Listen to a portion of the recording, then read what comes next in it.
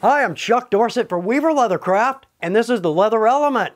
If you've got a good question for us or a good idea for a leather element, drop it in the comment box below. Now this week we're going to talk about setting rivets in difficult places.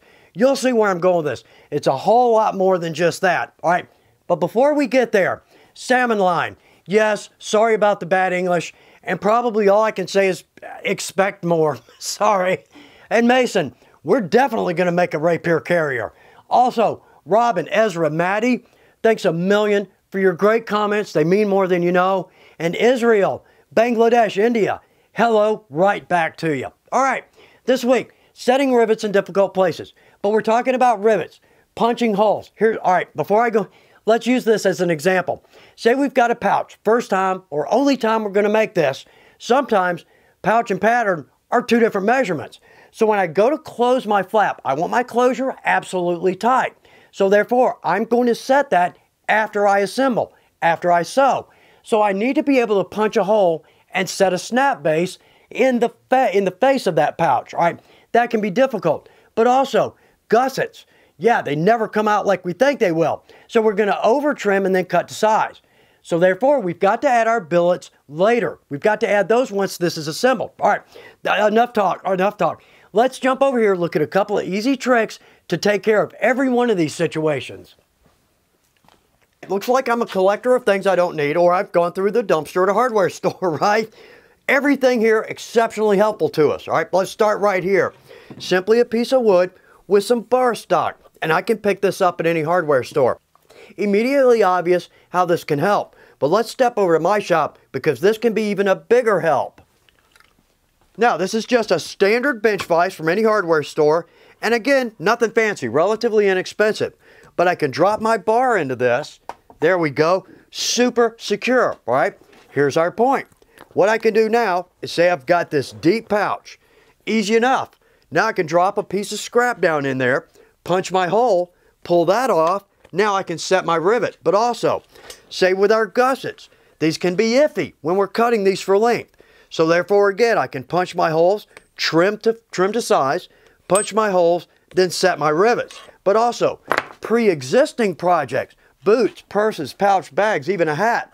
Now I can set spots or rivets or conchos or punch holes absolutely easy and very inexpensive. For a lot of us crafters, a bench vise might not be in the budget. But the bigger problem for us is that we might not have a table where we can bolt something like that down. So let's take just a simple C-clamp. I'm going to clamp this onto my table. But notice here, I'm going with my clamp as far back as I can because look at that. I literally can hold myself in the air on that. That's how strong that is. And again, now I have ample length for setting, punching, same with my gussets. Now, I'm not sure where I picked this up over the years, but it's simply a piece of old railroad track. Now, we're not all making armor, but this is a perfect example. This can be one of the most useful tools in my shop because now I've got this set up on a post. So therefore I can set every spot, every rivet, right down here, right to the hand. I can set every rivet on my anvil here and I've got ample room for that to curl around. Even a bigger example. We've all seen this, but notice now, everything's curved here. So rivets, spots, conchos, Gonna be tough, but not really. One piece at a time, I can move that across. In fact, even down here, when I'm setting my spots, I have ample room to do that.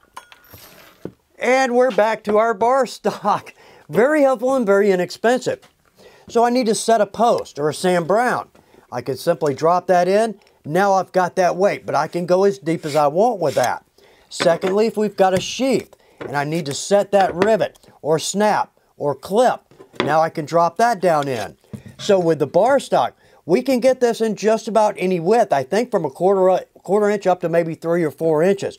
So very inexpensive and very helpful to us. Not everything we do is huge, all right? We're gonna use a keeper because this is a perfect example.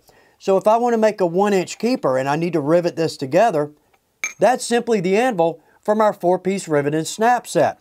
So I can flip that over use the backside for my keeper or setting my rivet. Same with my bar stock. Again, all kinds of widths available. But here's a funny one. Notice this pair of needle nose, used and loved. But with this, I can drop a rivet right there. Therefore, I can make a keeper all the way down to a half inch. I've always heard the saying that one person's pleasure is another person's trash, okay? A leather shop seems to fit on both sides of that because what we've got now is just a bit of odds and ends. Perfect example. With this pouch, I've got an odd shape. I'm wet formed. So the first time I make this, not really sure where my closure is going to land. So what I've got is a 1x4 and I've just cut an end on that. That fits right in there. With this, that's just three pieces of leather, scrap, glued together. So that'll slide down in there. I can punch my hole, pull that out, drop my anvil down in there, and I can set a snap or whatever I need to set. When we jump over to a wider pouch, what we can do, this is simply our cutting board. When it wears out, I can easily cut this down with a jigsaw.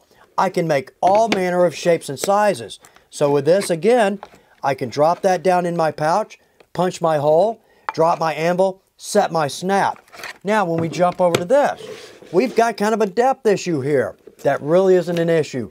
Let's take a piece of 2x4 or a combination of, of wood, drop that in, drop in my leather. I can punch my hole, pull that out, drop in my anvil, and again, set my snap.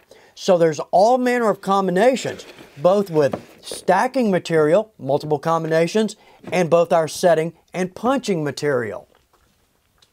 The primary point of this video is that yes, we can absolutely set rivets, snaps, punch holes, and chisel lines in difficult places. But the bigger point here is this. We can now shuffle the steps in the process, thus making each step a little bit easier. That's the point. And if we do that, the project is more fun, it's a lot easier, and our outcome clean and tight. So therefore, we circle right back around to ease and outcome. I hope this is good information for you. Thanks for taking time to watch The Leather Element. Good luck with your projects.